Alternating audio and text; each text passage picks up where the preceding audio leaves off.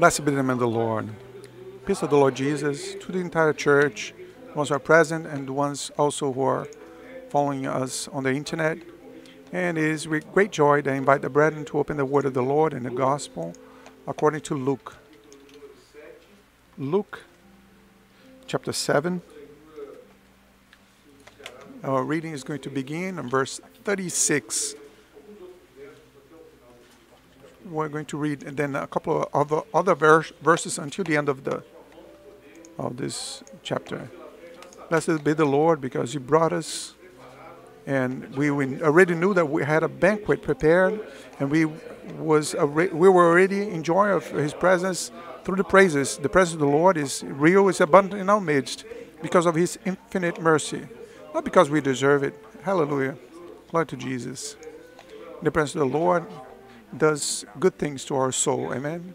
In text of Luke 7:36 says the following: Then one of the Pharisees asked him to eat with him, and he went uh, on the Pharisee's home and sat down to eat. And behold, a woman in the city who was a sinner, when she knew that Jesus sat at the table in the Pharisee's house, brought an alabaster flask of fragrant oil and stood at his feet behind him, weeping. And she began to wash his feet with her tears and wiped them with the hair of her head. And she kissed his feet and anointed them with the fragrant oil. Oh, now, verse 44.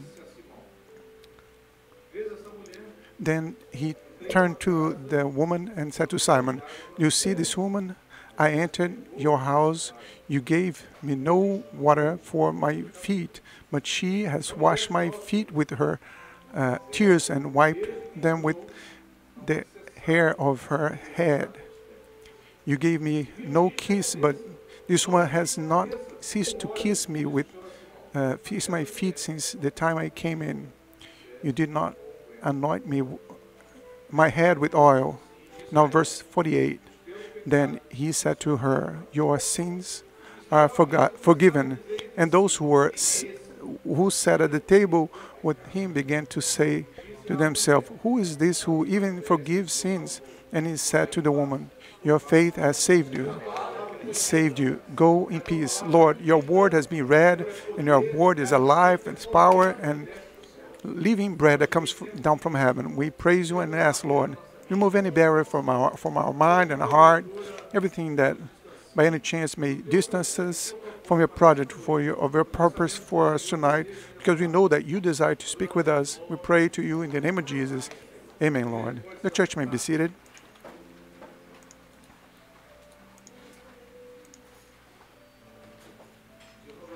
The brethren have already stopped to analyze that as time passes, the, the time of the, the coming of the Lord Jesus is coming near, the time of the time called soon, the time in which we're living. So in, at any moment we're going to depart through the rapture eve, or in, if we pass away and the Lord take us to be with him. And have you noticed that as time passes, we're closer to the return of the Lord Jesus in the world out there there is a greater confusion of thinking, of mind. We have re have received recently a period of pandemic, and the period of pandemic brought great confusion that caused people to make a definition. Many made a definition to uh, to the world, sadly. But there is a people that has made a definition to salvation. There's a people that said, "I want life, I want the blessing."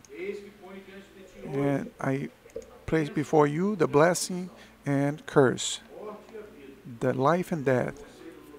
And the advice comes soon after. Choose therefore life so that you can live. And my brethren, the world in this confusion goes errant, confused, and normally there are people that may come close, be becoming close to the path of salvation, still send an invitation that, an, an advice that cause people to go straight for, uh, from the path of eternity. And even religions today, because they try to understand the thing, spiritual things through human reason, through science, or even through their intellect. And when Jesus, the, the period in which he stayed on earth, he operated many signs, miracles, and wonders. We are going to mention a couple of them here, so that we know, so that we don't take too long here. In the lack of wisdom, Peter asked him, "The master pays taxes." We sometimes criticize Peter, but many times we are just like Peter. And then Peter answers, "Pay, pay, pay." Of course he pays. So then goes and go and receive the tax. And he comes to the Lord and he answered, Oh.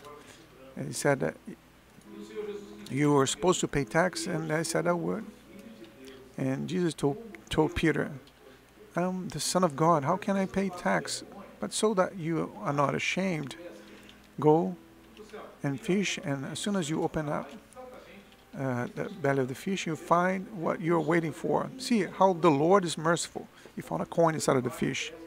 Peter goes, finds the coin inside of the mouth of the fish, and goes there and pays the tax.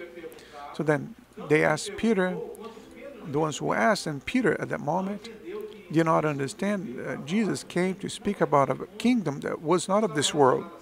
It was not related to Caesar, it was not related to the Roman laws, or none of it. My kingdom is not, is not of this world. Isn't it what he said? And we are in this world, but we are not of this world. Why is that? Because we assimilated this kingdom. When we accepted Jesus, our only and sufficient Savior, things cannot be interp interpreted this way. Jesus goes up to bring a sermon. The sermon uh, is lengthy, and then disciples say, Lord, Lord, you see, it's, it's very late. There's no business here. But if they, even if he had, we don't have money to feed these people. Let these people go. The idea was good, according to human logic. It was a very Jesus delayed too much in his message, and these people had to walk to, to the city to eat. But their human reason was was prevailing there, and then Jesus said, "Give them what to eat." But the disciples said, "Lord, how can we give food?" But in the meal there were there was a young man with five fish, uh, five bread and two fish, and Jesus looks looks at the looks at it, goes to heaven, looks to heaven and pray, thank the Lord, and they begin to distribute that the fish and the bread. Thousands of people were fed. Can you imagine the number of um, uh, men, women, and children that ate the first sandwich of bread and fish? Blessed be the Lord. And the Bible says that there were still 12 baskets filled left over. Like if for each one of the apostles, you do work with me, here's your blessing. There are 12 baskets like for the 12 apostles. But then on the following day, they returned. They, they thought, well, today there was bread and fish. Maybe tomorrow there's a lasagna, stroganoff. He's the Son of God. He took five bread and two fish, and he multiplied. But then when they come, Jesus said, Who does not eat of my flesh or drink of my blood does not does not have anything to do with me. And they said, Oh, this this message too morbid. Eat of my flesh and drink of my, my blood. They still uh, had were, were judging his message with human reason. They returned to see another miracle, and the crowd did not understand. And when Jesus multiplied the bread and fish, he was speaking about his kingdom. He was prophetically speaking about the Father and the Son and the Holy Spirit. The abundance of God has as a prophetic plan of salvation for the life of man. And the continuation of the sermon the following day was whoever does not drink of my uh, blood and eat of my flesh cannot have anything to do with, with me was speaking about the previous message the previous day. Eat of my flesh and drink of my blood, is speaking about uh, walking uh, on the path that Jesus laid out. Come and follow me. But there, the Bible says that everybody left angry, upset. Many left upset. And Jesus said, How about you? Do you want to leave as well? asked the disciples. And and that's the answer from the disciple was, Where are we going to go? You are the one who has uh, words of eternal life. And when he healed the, the, the sick and raised the dead and everything, there was an explanation. There was an arrow pointing to prophecy. This is what I want to do for you. This is what I do for man. And you're worried about being delivered from the yoke of Rome or paying tax, taxes to Rome. Are you worried about this? The kingdom that I have prepared for you is much better. The house that has been prepared for you, a special house where you're going to live there eternally, forever with me. This is the message of Jesus. And now we see here in this text an event, practical. The Holy Spirit has shown that is, there's going to be clarity to many hearts who entered here tonight. If not for everyone, if all we want, we're going to leave this place loving the Lord more and, and understand this project better. Jesus was invited to eat in the house of a Pharisee. The Pharisees, a man, they were great, had great knowledge of the the Torah, of the the law of the time, but only they knew only the letter. The expression the Bible uses regarding this, they are like uh, painted tomb. You see, when you go to a cemetery, you see they paint paint white the tombs to look nice, but what is inside? Rotting things. Uh, the painted tomb look, speaks about a person that only worries about their own external appearance, but they have inside all the ugly things of this world. And Jesus uses these expressions, expression as an alert because the Pharisees they only they were only worried about the law. A woman was caught on, on an act of sin, and the Pharisees were saying, "Oh, we need to stone this woman because she was caught sinning." And Jesus began to writing on the, the floor, on the ground, and, and the Pharisees came and said, "This is the situation." Jesus, Jesus's answer was the most beautiful answer. It came from eternity. Whoever does not have, have any sin, throw the first stone. And they began releasing the stones to the ground. No, but nothing else was heard, only but the sound of the stones falling to the ground. And Jesus looked with the gaze of love in the same way that he looks at us with compassion, saying to us, I love you, I want to give you an eternal life where there is not going to be crying or grinding of teeth or going to dry all tears from your eyes. And he tells this woman, Where are your accusers? And she said, They have all left. And then Jesus explained to her what salvation is, what is living in true gospel. And, uh, and he said, I do not condemn you. She was repentant. And then he said, Go and sin no more. Blessed be the name of the Lord. That's the gospel that Jesus has left. And the Pharisee here called Jesus for a supper, for a dinner. And uh, was with tradition at the time, the, the host would receive the guest and he would do everything that we read. Somebody came from a long uh, walk, the visitor, and he had uh, dust on his feet and his hair was full of dust. His skin was all dried. And was traditional, same way as person from Minas in Brazil. There's always coffee and cheese. It's not part of our culture. The person from from Rio does something that something else different, and people from Bahia and Brazil does something else as well. And each culture has something. And there they had a a, a vessel of water to wash their feet.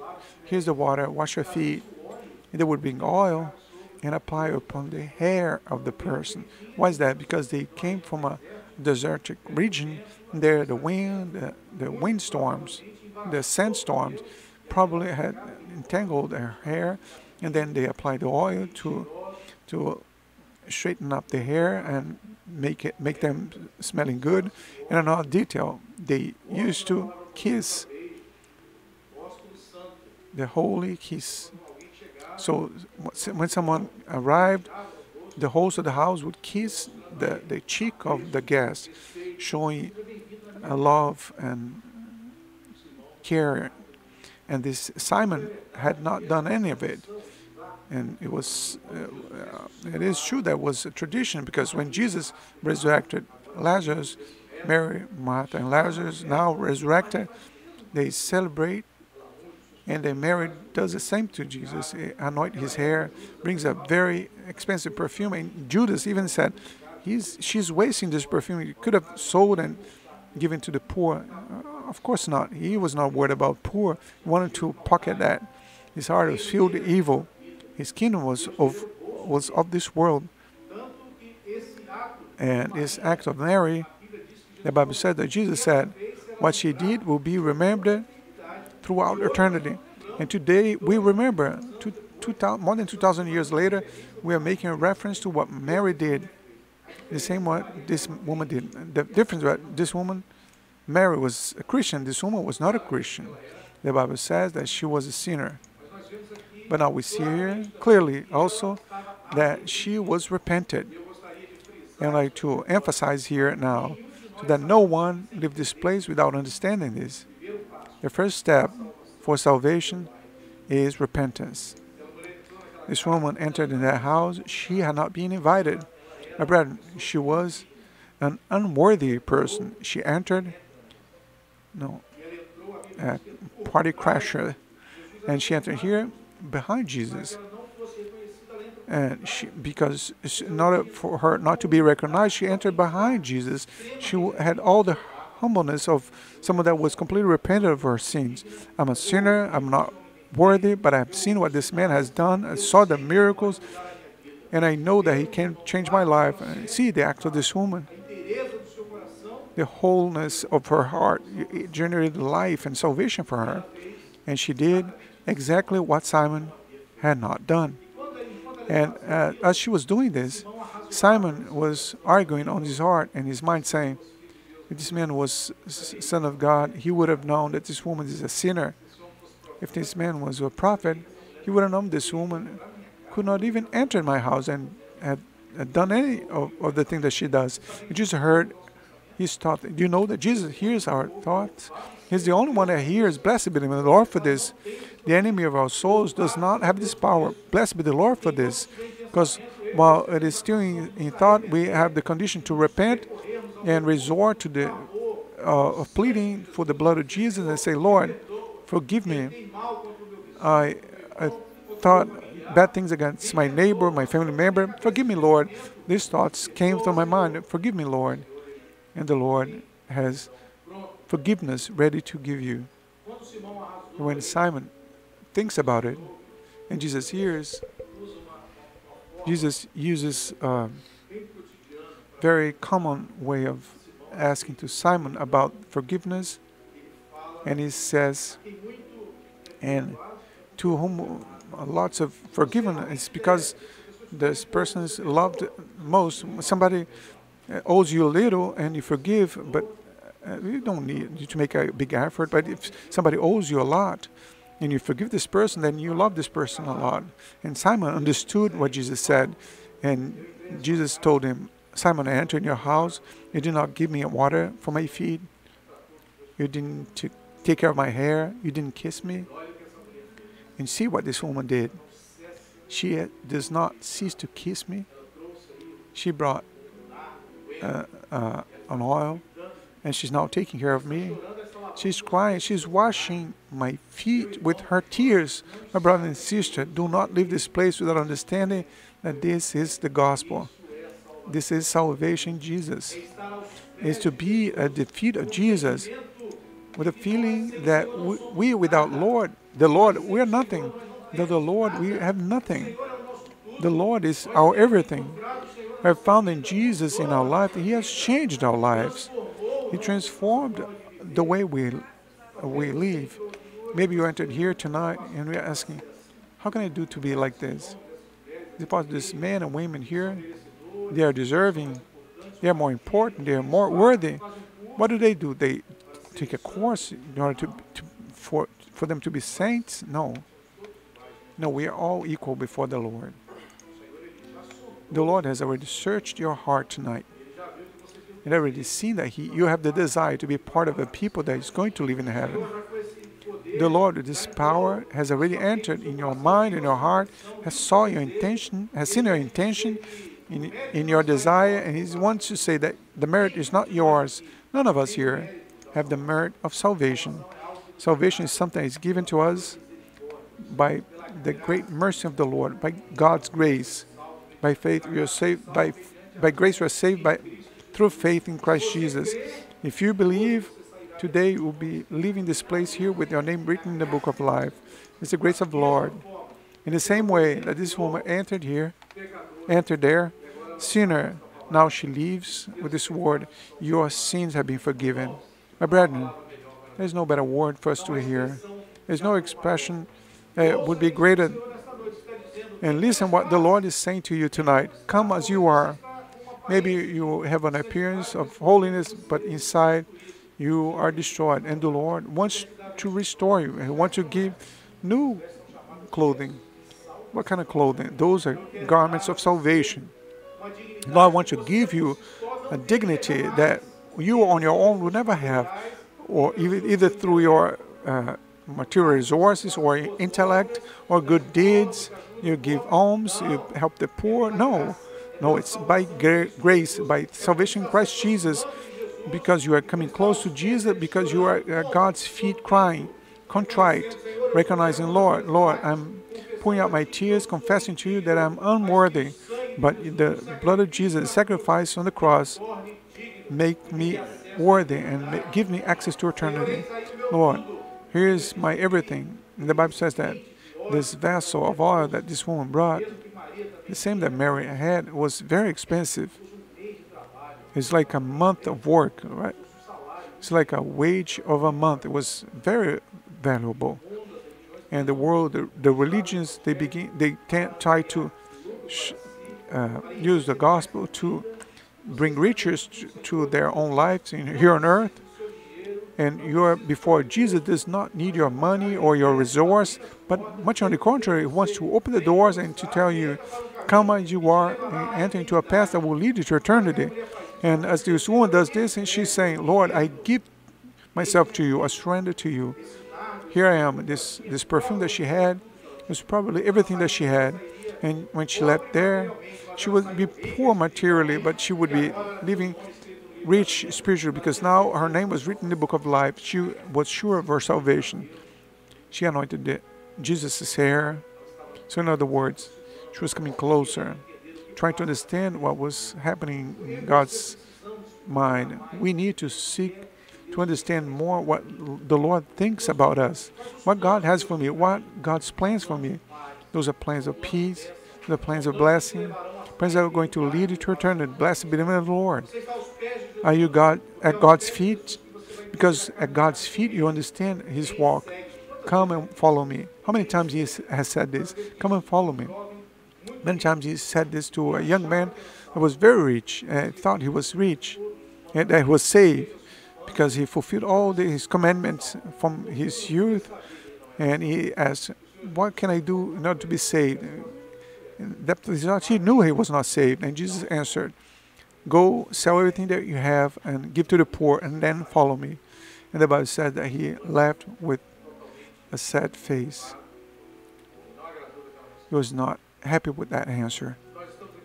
And we are here to say that the riches of this life, that, that uh, this, it's uh, not good. No, if you work and it, it, can be a blessing for you, material goods, but may it, well, I hope that this is not something that is going to hinder your spiritual life. And this more important is an assurance of eternal life. And this woman, what this woman did was to say, I want to have an eternal life with God. And she received this blessing because she heard from Jesus saying, Your faith saved you. May God bless you. May the Lord have spoken to your heart and my heart, and that we may live from a salvation that is humanitarian, that is material, as rational, and enter into God's time and understand the true worth and what pleases the Lord. This woman, to this pleased the Lord. That's why she was able to reach eternal life. Blessed be the the Lord.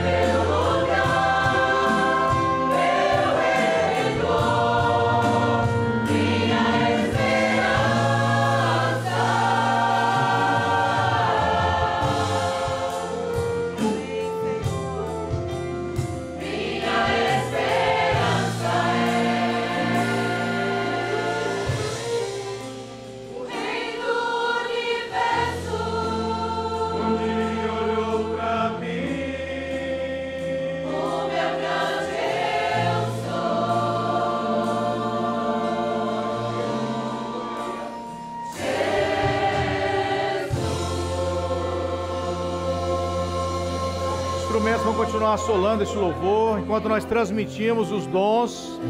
O Senhor mostrou nesta noite que há um casal aqui que precisa de uma bênção. A mente está confusa em relação às coisas do, do reino. E é como nós dissemos: você entrou aqui esperando em Jesus para esta vida, mas você vai sair entendendo que a existência, a vinda dele, a morte dele, a ressurreição dele é para te conduzir à eternidade, porque um dia ele voltará para nos buscar. Há um óleo do Espírito Santo que está sendo derramado sobre este casal nesta hora para trazer o equilíbrio, os pensamentos alinhados com a eternidade. Você que entrou aqui nesta noite, você não entrou em vão. Não foi o homem que te convidou, o homem foi apenas um me. Man was just a vessel, a, a, a blessing. But the Holy Spirit brought you here to receive blessing and to bring new garments so that your interior is as pure as your interior, as was, showing a garment of salvation. Be holy as I am holy. And tonight the Lord is blessing these people according to the spiritual gift that the Lord has given. The presence of the Lord is filling this place. The spiritual gift is the fruit of the Spirit, and He's take advantage of this. Take advantage of blessing because tonight is the night of salvation. Let's stand up and sing the last part of this song.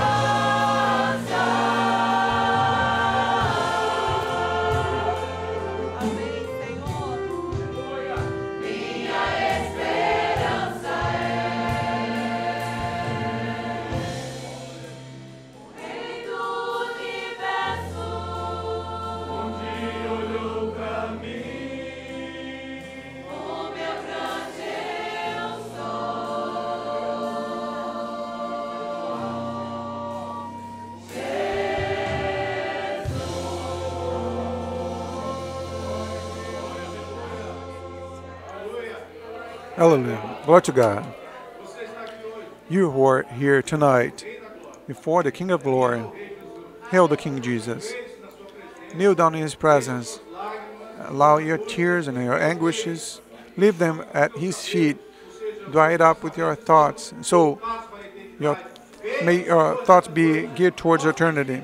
Kiss the Lord tonight. Show your intimacy with the Lord because the Lord loved you loved you first. I want to hear a voice, I want to hear the feeling of the Lord in, your, in my life. Lord, here I am. I'm nothing, but with you, I'm your servant. I'm saved, and my name is written in the book of life, and I'm going to eternity with you. Here's my life, Lord, my vessel, a pure perfume. Receive my adoration. I'm pouring out my life in your presence. Confess to the Lord that you, from this moment forward, you are a new creature. Blessed be the name of the Lord. Glory to Jesus. Holy is the name of the Lord. Glory to Jesus. Enjoy the salvation. Take possession of a blessing. Don't leave this place in the same way you entered. Don't leave this place. The feeling that the Lord Jesus told you, go, your faith have saved you. Blessed be the name of the Lord. God have a word of adoration to the Lord.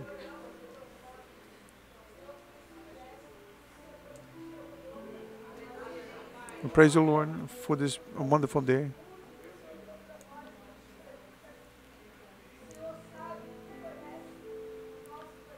You know your thoughts, Lord.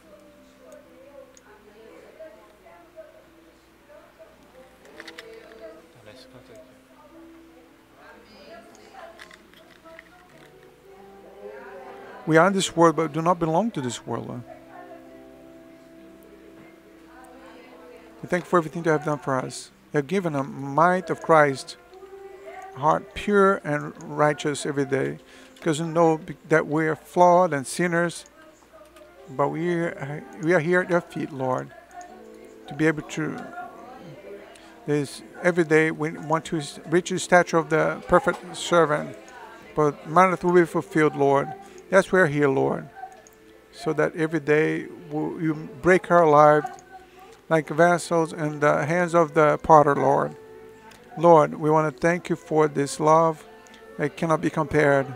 In the name of Jesus, amen. Amen. Glory to Jesus. Lord, receive our service. So simple, but comes from the bottom of our hearts. Our sincerity in pleasing you and offering you our best. Want to surrender to you all, all our gratitude. Receive our praise and take us home in peace for night of rest, so that tomorrow we can enter into your holy temple, so that we can learn more from you and pray to you in the name of Jesus. Amen. Church may be seated. Our service is over. We want to give our welcome to, in the name of Jesus, to you who visit us. Feel at home. It's the shelter of God. You are the sheep of God.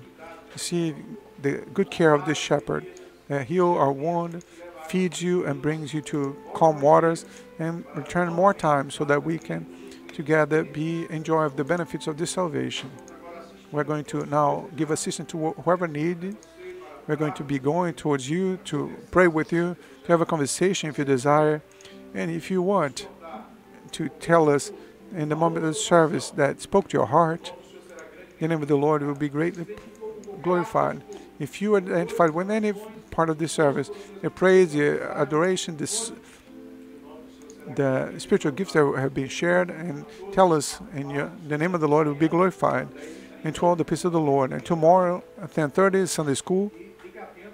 And pay attention to the change of the clock. We're going to go back or, or we're going to go forward one hour. So the hour we won, now we're going to lose. So pay attention. The cell phones they update automatically, but not the alarm clock. So the brethren to be pay attention. The peace of the Lord Jesus to everyone.